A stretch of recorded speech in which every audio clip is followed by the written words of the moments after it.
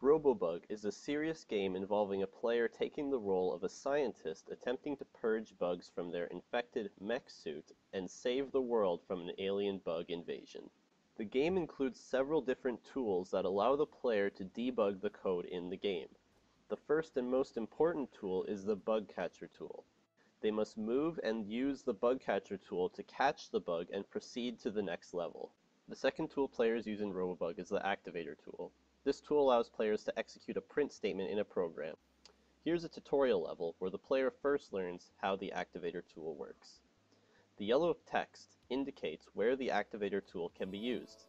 This results in a pop-up window displaying a hint about the bug. The player uses the tab button to switch back to the activator tool to the bug catcher tool with this new information. Now the player can go to the buggy code and use the bug catcher tool to catch the bug.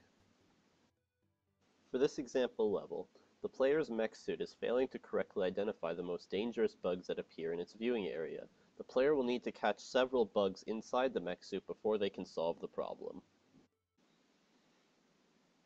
First, the mech suit has a bug in its swap function that swaps two numbers in place. The end result of this should be that variable num1 stores the value of variable num2, and vice versa. To observe this behavior, we can activate several print statements in the code to see what's going on. We'll discover that the swap function is actually incorrect. The value for num2 ends up being assigned to all of the variables, and the num2 variable doesn't store the value from num1. Once the player realizes that this is the problem, they can switch to the bug catcher tool and catch the bug. Next, we have a priority assigner function. This function is supposed to sort a list of numbers where all the numbers except the first are in descending order. These numbers represent the threat of the bugs that are trying to attack the mech suit.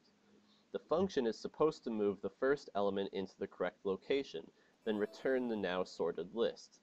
The print statements in this level show us sample values in one of these lists, the number of elements in this list, and an out-of-bounds error message. This indicates that the bug is in the for loop, where the boundaries are not properly set. Now that the player knows that this is the case, they can go to the for loop and catch the bug there. Once these two sublevels are finished, we can proceed to the mech suit's threat sorting program.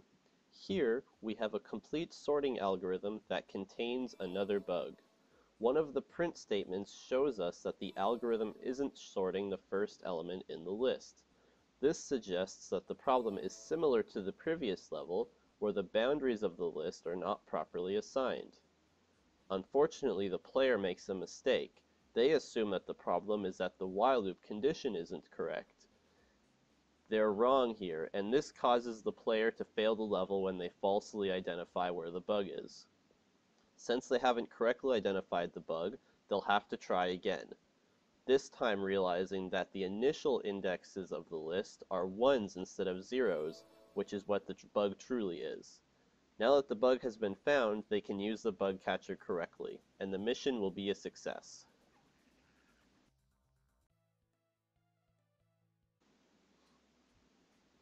There are a total of five different tools that the player will need to use over the course of the game.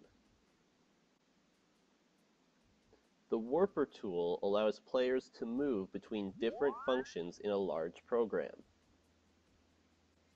The Commenter tool allows players to comment out blocks of code to see if a bug is contained within that block. If an error message still occurs after the block of code was commented out, that block of code doesn't contain the bug. It must be found elsewhere. The breakpointer tool allows players to activate breakpoints that are set up in a program. The breakpoints can be activated later for the player to observe variable values and the program state at runtime.